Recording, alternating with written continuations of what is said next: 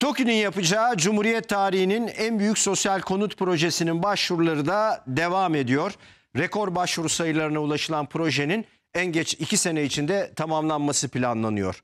Dev konut projesinde tabii en çok merak edilenlerden biri de dairelerin nasıl olacağıydı. İşte Beyaz Ana Haber sizler için TOKİ'nin örnek dairelerini görüntüledi.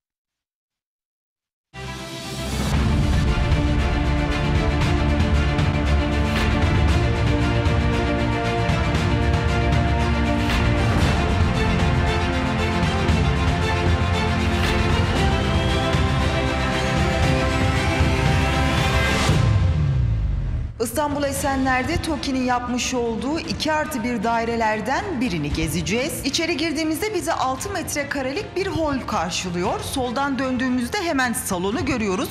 Bu salon 30 metrekare büyüklüğünde. Hemen karşımızda gördüğünüz gibi Amerikan bir mutfak var.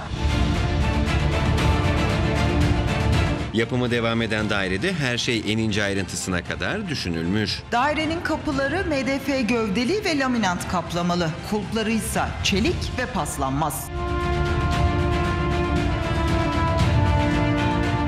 Isı yalıtımı ve güzel bir görünüme sahip olmak için yerlerde laminant parkeyle döşenmiş.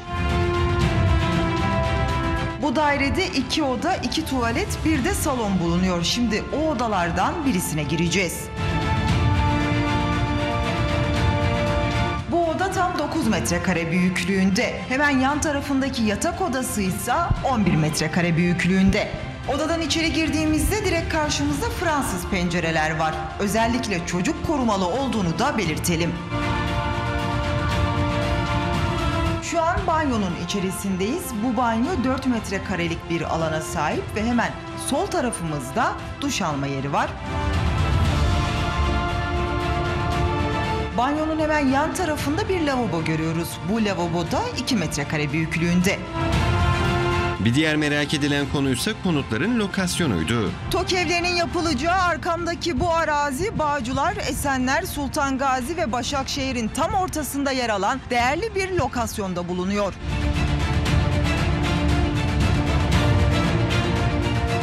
Esenler'de yapılacak konutlar çok merkezi bir yerde bulunuyor. Araziye yapılacak olan konutlar ulaşım açısından da oldukça merkezi bir lokasyonda. Öyle ki hem TEM otoyoluna hem de metroya rahatlıkla ulaşım sağlanabilecek.